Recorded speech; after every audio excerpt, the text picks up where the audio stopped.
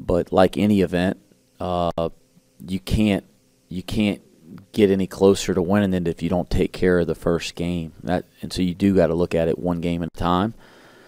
We have a unbelievable amount of respect for anybody that's still playing at this point. And that's something we talked about as a team on Sunday. If if you're still playing at this point in the year, you're good. That's just what it is. Uh, and so we have a healthy respect for everybody that's still in the postseason. Most people are done. Um, and then obviously a, a, really healthy level of respect for uh, San Francisco and just not not being as familiar just because they're in the West Coast Conference, not having a, the chance to watch them play a ton this year. I've seen them against Gonzaga uh, on TV late one night, but uh, getting into their scout here over the last you know couple days, they're like a all the teams that are left still playing, they're really, really good. You know, won a bunch of games, had a great conference season, and so as much as we do want to win the whole thing, we're not looking past the first game. We are trying to take it one game at a time. In this day and age of the transfer portal, a lot of coaches will say, you know what, we're going to deny this bid, attack the portal, try to get better for next year. You and Dan said Cincinnati plays March basketball after you lost to Baylor. What is it about this scenario this year or this season or kind of past experiences that makes you want to play in the NIT, continue playing instead of just hitting the portal? I love coaching.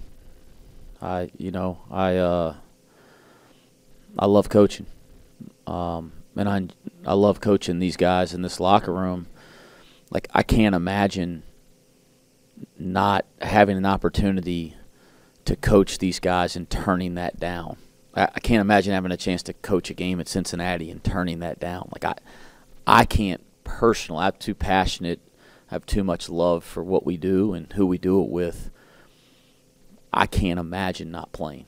Now, like our players and like our fans, I mean, I'm extremely disappointed we're not playing in the NCAA tournament. And down, I mean, I was really down about that. Uh, st- still disappointed about it. Uh, but I can put into perspective in a really quick period of time that as down as I am about that, I'm not going to miss an opportunity to do what I love to do. I mean, this is a blessing. This is a gift. Uh, I, I can't imagine having this opportunity to play for something that's a big deal. Like, it's not the NCAA tournament, but the NIT is a big deal. Having a chance to win a tournament and get a banner and get a ring, that's a big damn deal. And, ha- and having a chance to do it here with these guys, I, I couldn't fathom not not doing that in, in my position that I'm in. Will you have a full complement of players? Uh, yeah. Oh, yeah. I, same thing. I, I think you look around the country and there's a handful of people that opted out last year and a handful of people that opted out this year. And, you know, either you don't love coaching, you don't want to coach the players that you're currently coaching, or the players don't want to play. I mean, it's, it's got to be one of those three things. And I'm not pointing any fingers. I, I can't imagine it being anything that's not one of those three because the the transfer portal is going to be open for a long time. There's still basketball going on. I that's not. I think people can say that. That doesn't sound like a honest reason to me. Um, so we don't have any of that. You know, we love coaching. we love coaching the players that we currently have, and our players want to play. Uh, there's a ton of disappointment we're not in the NCAA tournament, but I think everybody in our program has put that into perspective quickly, and we're excited to take the floor. Another one in. Uh, uh, your net was 37. Uh, Coach Pitino's was 32, and, and I think Indiana State 28. Uh, Coach Patino doesn't think much of the net these days. Uh, your thoughts on that? I'm not quite sure what the net means. I I have no idea. I yeah, I don't I have no idea. You know, and I th- those points I agree with. Like I, I have no idea what the net is in place for. I, I've thought about it in an even deeper way. If we're not going to utilize the net to select teams in the tournament, but then we are going to utilize quad one, quad two, quad three, quad four, which that's determined by the net. That just seems like wildly contradictory to me. So we take as serious as anything the quad one two wins that are the, the quads are determined by net rankings, and also where games are played home, road, or neutral. But yet net rankings don't matter in a true form when you're selecting teams. That's where I get very confused. And I'm not sitting here politicking that we should do one or the other. I just like anything. Clarity is always helpful to everybody. After a full season in the Big 12, you've spoken highly about the league all year. What's one thing that you didn't know going into the year that you do know now about the league? It's a great question. I mean, what what a unbelievable basketball league. I mean, it guys, it's unbelievable. Uh, it was fun, challenging, awesome. I mean, it's awesome if you're a competitor and you love college basketball. Like, I'm so pleased for our university and for our fans that we get to be in the best league in college basketball. It makes every night exciting. Um, I can tell you it's made me a lot better basketball coach, and it'll continue to. It's made our players better players. It's made our team a better team. It's making our program better. Like it's awesome, but it is a challenge. Um, learned a lot. Like uh, you know, a lot of the things you hear going into it, you know, you know are real, but when you experience them, it's much different. Uh, I think the biggest difference between our league and every other league is there is not one night off. I mean, it's 18 for 18, and it'll be 20 for 20 next year. And I, uh, I, I just I can't stress it. That sounds very simple and cliche, but like going through it every two or three days over the course of what you know nine ten weeks, it really is something. And and I mean that in an awesome way. And it, the neat thing is you, you have a chance no matter what happens over a week period or two, you have a chance over the next week or two to to do great things. Like you, you always can come back, and uh, and that that was really neat. You know, you go through a bad stretch. Okay, that's going to happen. Everybody in our league went through some bad stretches. You can reverse it and go through a good stretch really quickly, and that that's really neat in itself. I, I do think in college basketball, we have these super leagues that are being created. You know, um, then the Big 12 is this super league of super leagues in basketball now, and it's only going to get more so when you add the four schools that are coming in next year. I, I do think we need to rethink how we structure se- selection. You know, like there's no no way we have eight teams out of the Big 12. Like there's just no way. And I can imagine the Big East. There's not I mean, three teams. I mean, there's just no way.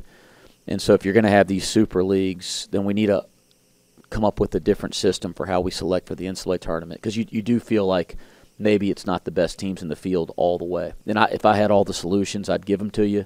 I got enough things I'm trying to figure out coaching our program, but you know, you feel like the, there's so many changes that are happening in college basketball. You'd like to see some adjustments based on the way leagues are structured now.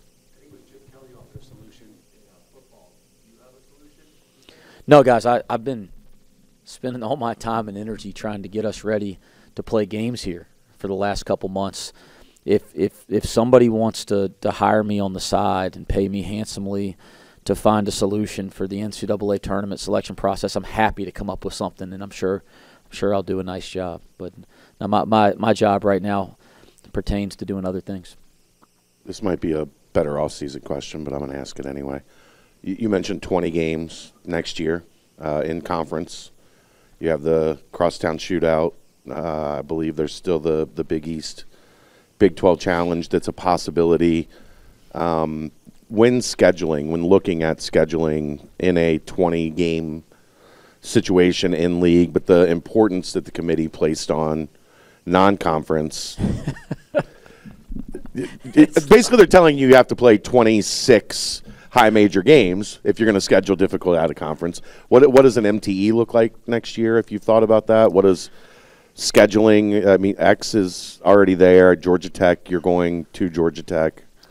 I again, I I think it'll be something that, you know, uh, we still have games to play, so I don't want to get too, you know, too it down this path at the moment, but uh, we always try to have great strategy when scheduling to give our, put ourselves in the best position um, and the the the frustration I think from all of us, I, I imagine a lot of guys in our profession is it seems like every year the explanation for why this team or that team didn't get in is something different. So if it's this year, it's non-conference scheduling. It's like, well, if if if a Big 12 team plays 18, I'm just making this up, but like 18 quad one games or 15 quad one games, and a team in another league only played 10, but they scheduled harder in November, I, what's the like? I don't, I don't understand the difference. But if that is true, then we'll schedule accordingly. I, I, until we can get some real clarity, and we will. I'll, I'm going to reach out to everybody. I like give everybody peace of mind here that I'll make sure that I reach out to people on the selection committee um, for guidance. We'll reach out to scheduling gurus. I'd like to think we're scheduling gurus. We spend a lot of time and energy on it. Uh, I'll reach out to the people at the Big 12, and when we go to our league meetings, I'm sure they'll do a presentation on that like they always do. I'll talk to other coaches. We'll we'll try to figure that out. But where I laugh, it's like it's so inconsistent on what the reasons are. Again, clarity would be would be really helpful, and I think we got to they got to make some adjustments moving forward based on the the changes that have happened in college basketball, and I assume that'll happen. I just sooner sooner rather than later would be helpful. Do they need to take some of the objectivity out of it? Because it, when they were talking to the selection chair Sunday, it was like, well, this person has this opinion and this person has this opinion, and they differ. Should there be one uniform like this is what we're looking at, or, or is it just part of the process that there's going to be 10 people in that room and they're all going to have a different criteria, which seems insane? Yeah, I, I, I, it'd be nice to have less ob- objectivity and more clarity. Again, I, I hate to be the guy that complains without solutions. That's something that we value so much on our staff. It's like, hey, everybody can, you know, I want people to point out what we're not doing well, but what's this? Come in with a, a solution to the problem. So I don't ever want to be that guy that sits up there and does that. I got to be cautious because I, I don't have the solutions today, but I can tell you that I would love to have more clarity, and I think every coach would. I think when people know what it is going into it, you either meet the standard or you don't. And I think, listen, I, for us this year, we felt like we missed some big time opportunities to build a resume to solidify ourselves as an NCAA tournament team. That we had leads in league games, late in games, four times, and and didn't close those games out. We got to look in the mirror. I'm not complaining about the selection process because we didn't get in. We had our chances. Um, I think we were really damn close, and that hurts and that's frustrating and disappointing. Uh, but when you do look at the way certain people did or didn't get in, it, it is frustrating. That just as somebody in this profession, and it would help to have clarity. You talked about the reasons for wanting to play in the NIT. Does it put you at a disadvantage in terms of the portal with it opening and you still having games to kind of focus on and plan No. for? Yeah, like number one, we really like our players. So the, know, again, I, and I'm not judging anybody, but if you don't like your players or your current players, or your players don't want to play, I can see okay, maybe we shouldn't play in this thing. Let's just go get a new roster. Like that's that's not our goal.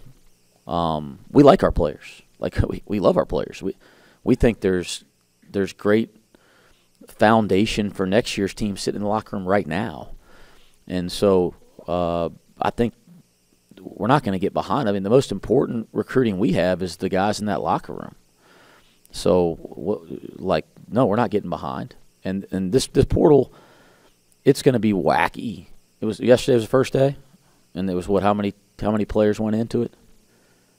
Like, well, today will probably be wacky, and then tomorrow, and it'll be wacky every single day until it closes, and then that doesn't mean recruiting's over. That just means nobody else can go in. So it it's going to be a, a wild and crazy spring, and I don't think we get any disadvantage. I think it's an advantage to keep working with the guys that you believe in and you want to build around. Wes, two part question. First, what have you seen from San Francisco on tape? What are some of the challenges they present? And then, how much of a benefit is it to potentially not have to go no further than two hours away from here to play all of your games? Man, San Francisco, they are so skilled. Uh, like offensively, they, they they can hurt you in a variety of ways. I don't want to pronounce uh, their starting, and I wouldn't call him. He's like kind of a point forward. They're big kid. If you guys want to pronounce it for me, I'll say it, but I don't want to mispronounce it out of, out of respect for him, but he's terrific. Um, you know, they have a big that they honestly use as a point forward. Like he brings the ball up the court. Uh, they set ball screens for him. He can make tons of great passes. He's athletic and can finish at the rim. So they do a ton of neat stuff offensively around him and play with a lot of freedom. And they have a ton of guys around him that are super skilled to shoot the ball and make plays off the bounce. Um, positionally, they're or defensively, they're really positionally sound. They're huge. I think people that come out on Wednesday night will be really surprised just how big they are, one through five. Like their positional size is incredible, and they do a good job of being in good position defensively and making it hard to score over top of them. Uh, but again, I mean, let's look at their numbers this year. Look at their record in league in a really, really well respected league that's got two teams that advance into the NCAA tournament uh, that are in the top 25. So, and they've been right there in some of those games. That very well coached, very skilled, great size.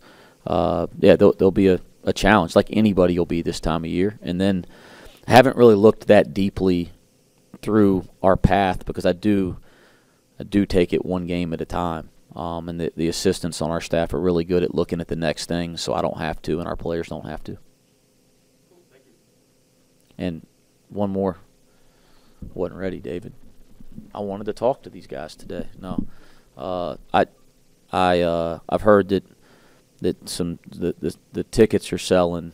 I got news of that here this morning uh, for NIT tickets, and you know I told our players um, on Sunday because everybody's disappointed for sure. I told our players, I said, "Hey, the NIT at Cincinnati isn't the goal, and our our fans expect us to be playing in the NCAA as they should, but our fans are the loyals as loyal as they come, and they will come out for us in the first round and be loud and crazy and all that kind of stuff. And I've I said that to our players with a lot of confidence.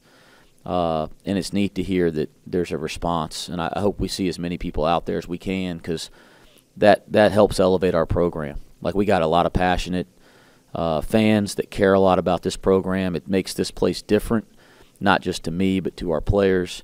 And so when you guys come out and and, and, and show that you're different than other fan bases that, that might not show up for an NIT game, not only does it really help us win a game, but it also helps us continue to, to build this program and recruit and retain and do all the things that we have to do to keep taking steps.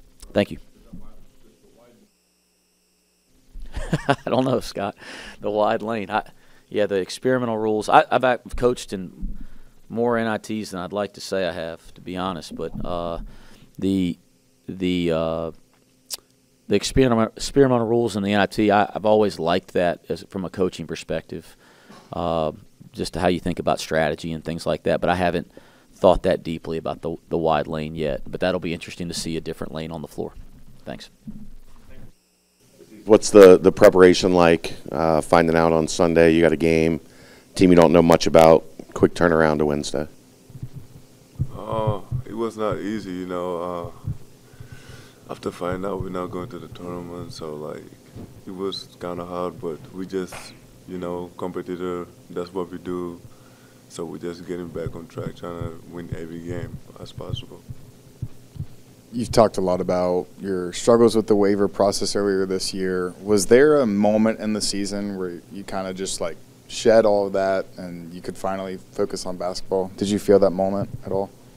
Not really. Like I've been just been thinking about it this morning, like how this has been, crazy, like have to deal with a lot of things, but I'm just thankful like we make it this far to see like really when things really not going like in your way sometimes like how far can you go? I really like that yeah. Coach miller said he mainly chose to play in the nit because he genuinely enjoys coaching and coaching this group of guys what was it like to just go through an entire season with him? And did you learn anything more about him that you may not have when he recruited you? Uh, I learned a lot. I learned uh, one thing I really appreciate about him is like he really uh, be there for you every time, on the hardest time too. So that's really the thing I really appreciate about him. I learned about him too. So yeah. How was the area? uh, You know, you, you had to sit for a long time, and then, then you came back. You had a, had a huge game, and you got to play. Uh, how's it been? And uh, any indication of uh, do you return? Uh, it was not easy. Like every time you return, I feel like, like uh, you have to be re- ready mentally too. So like, cause you've been waiting, like not having really competing. So I feel like every time you return, and you kind of like, like uh, have certain mindset to be ready to go for it, even though like you don't even know when you're gonna come back. Sometime, yeah. How stressful is it? The season ends Saturday, selection Sunday, and then Monday the transfer portal opens. Maybe not for you specifically, just players in general. How stressful of a stretch is that with the tournament still happening, NIT, but players now going in the portal and you, seeing all this movement? Uh, it happened really fast. Uh, as a player, just just know like like everything can change, and now like coaches can get fired. Like everything can happen in a second. So just be ready to like know like what your situation what your situation is and everything. And for some player, like I just feel like they need to be more ready to to make sure like it just like they would not lose another year like not being ready for that.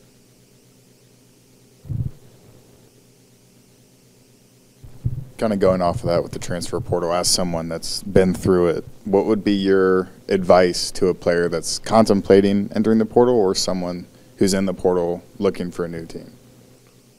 Uh, my advice would be like, if you want to be on the portal, just make sure like you're going for a good reason, like because you got a lot of people out there. They're gonna tell you like what they want you to do and everything you want to hear, but they will do the opposite. So just to be careful, yeah, who to trust, and yeah. You've moved around a couple times. Are you looking forward to an off season of maybe having some stability where you're not dealing with the transfer portal and everything that goes with it? Uh, right now I'm just kind of focused on the NIT. Really, like I've been through so much as a point where like I'm just kind of focused the thing I'm I really can control. I feel like that's what everything I've been through told me. Like to really focus on the thing you can control, and everything else will really take care of itself. You played in the NIT last year with Utah Valley. How does that experience help with your preparation heading into this year's NIT? Uh, I feel like playing in March is like not everybody do it, so like, I feel like it's gonna keep you like to see like the importance of playing in March. Everybody watching like they, so like every time you're competing, just just it's what you do. So like you can't complain. Just be there, do your job, and yeah. The goal, obviously, like you said, being in the NCAA tournament stings that you're not there. How do you refocus that energy? Because you do have a tournament that Coach Miller just spoke about how he wants you guys to get a banner and a ring. How do you refocus and try to win another tournament that isn't the one you want to be in? Uh, it's not really easy, yeah. Like for everybody, like you're gonna go through emotion, but it's all about respond.